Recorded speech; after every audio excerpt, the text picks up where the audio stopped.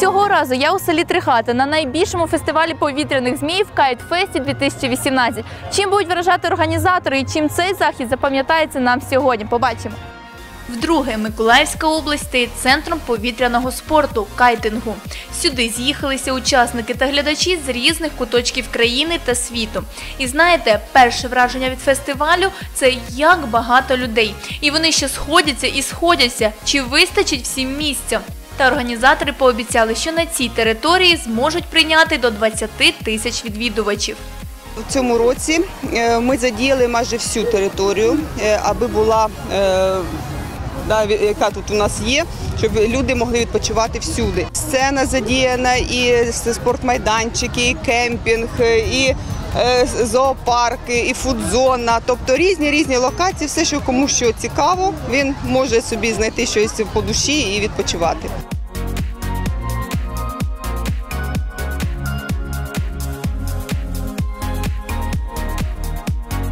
А за моєю спиною, як ви вже бачите, потроху до неба здіймаються повітряні красені. Ви знаєте, хоч я і не маленька, але мене це дійство дуже заворожує.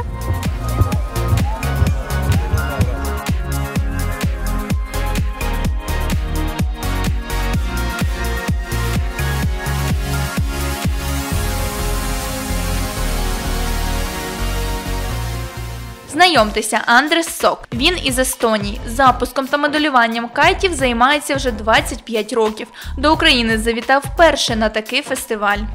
А я привез э, пару змеев. Они, я даже не знаю, как по-русски, но они называются inflatable по-английскому. Наду- надувные змеи и пилотные змеи, как э, эстонский флаг. Ну, один у меня называется гекко, как ящерица, а другая очень злая баба с рогами и так далее. А це захід. Він з Туреччини. Вже два роки бере участь у нашому міжнародному фестивалі. Привозить сюди кайти, які збирає власноруч. Сьогодні я демонструю віслюка, жабу і традиційний турецький кайт, який з одної сторони виглядає як змій, з іншої як людина. В'єслав вперше змія запускав ще у дитинстві, а от професійно займатися кайтингом почав 10 років тому. Я був на багатьох фестивалях повітряних зміїв у своєму житті. Наприклад, Африка, Азія, Таїланд, Індонезія, Малайзія, Китай і, звичайно, у багатьох місцях Європи. Я організував фестиваль повітряних зміїв у Польщі і запрошував людей з України. Це дуже цікаво також. Ось мої кайти: риба, відьма та листочок із маленькою тваринкою. Представник від України Володимир вчить дітей моделюванню повітряних змій вже 32 роки. Їх команда приїхала зі Скадовська. Вітер тут дуже такий загадковий, непередбачуваний, і воно вносить свою родзинку в в польоти. В цьому році літали також у Китаї.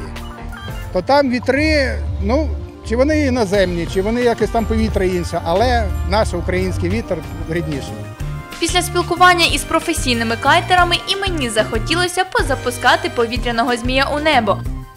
Перше в своєму житті я навчуся запускати повітряного змія. Так, Отже, тримай. Дивись, потрібно обов'язково за вітром, інакше він впаде. ага. Пускай потроху. Боже, Ах, весело. Звісно, це не все, чим організатори розважали глядачів. Як створити кайт та чим може похизуватися сільський зоопарк. Чекайте деталей у наступному випуску.